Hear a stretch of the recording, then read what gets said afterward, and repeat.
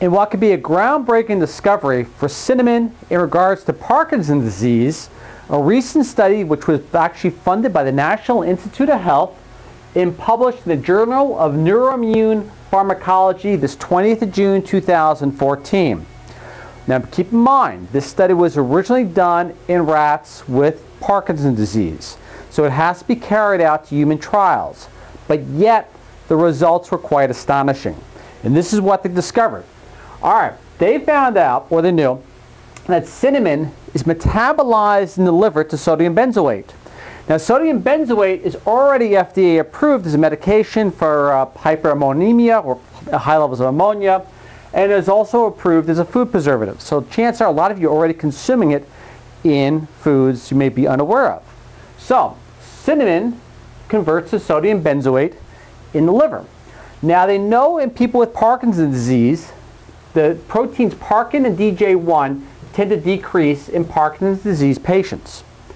And so they wanted to see exactly how cinnamon played a role or may have played a role in keeping these levels from decreasing. Well, what they did, they took rats with Parkinson's disease, they fed them oral ground cinnamon by mouth, not injection or anything fancy like that.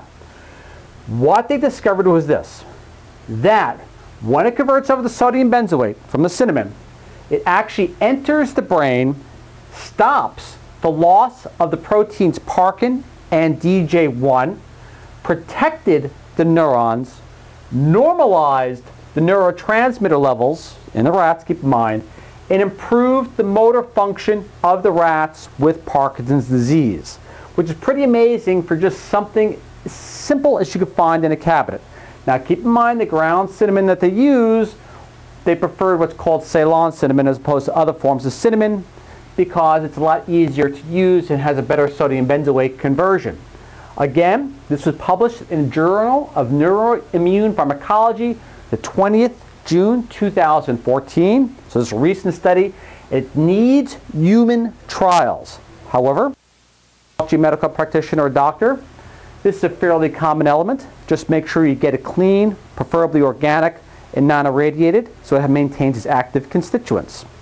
Thank you once again. Again, title called Cinnamon may be used to halt the progression of Parkinson's disease. That's their title, not mine. Thank you.